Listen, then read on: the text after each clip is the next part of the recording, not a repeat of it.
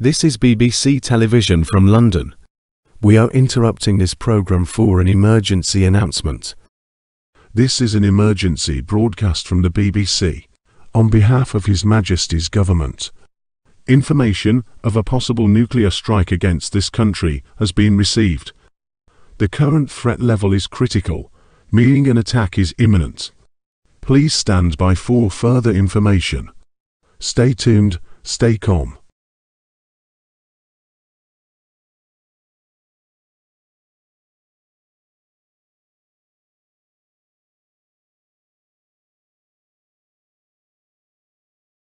Nuclear strikes have been confirmed to be inbound. Targets are currently unknown and are being calculated. Evacuations are currently taking place in major cities. Normal programming has been suspended indefinitely. All non-essential telephone lines and internet connections have been closed for military use. Do not attempt to call, text or use the internet. You should now prepare for nuclear strikes. Collect 14 days worth of essential supplies such as food, water, medicine and clothing. Ensure you have a battery-powered radio with a change of batteries for the duration of the sheltering period, so you can listen to information and they're all clear. Nuclear strikes create fallout, deadly radioactive dust, which will spread for hundreds of miles, and will affect everyone in the United Kingdom, no matter how rural the area you live in. Fallout is deadly. You cannot see it or feel it but it's there.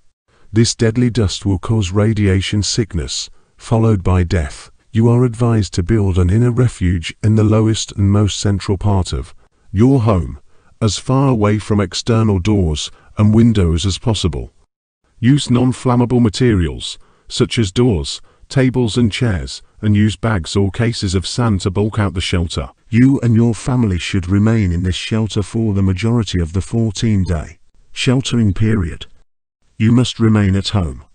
You will be unable to leave your fallout room, and if you do, you may die. Collect water now.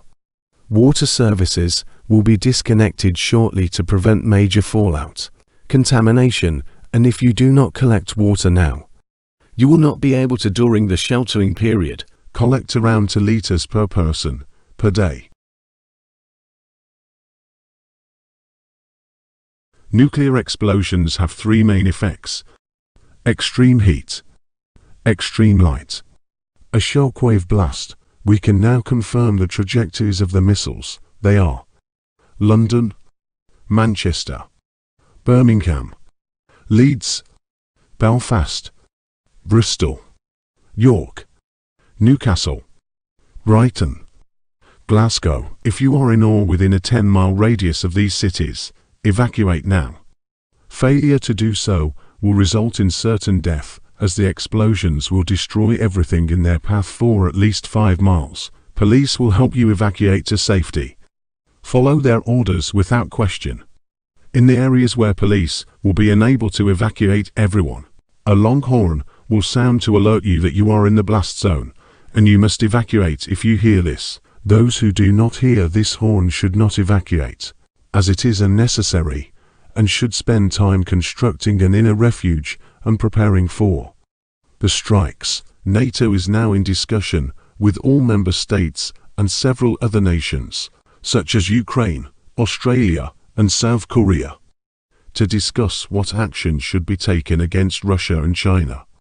France and the United States are preparing for retaliatory strikes, the Trident system has been activated. Following the strikes, there will be a speech from the Prime Minister followed by an address from His Majesty the King.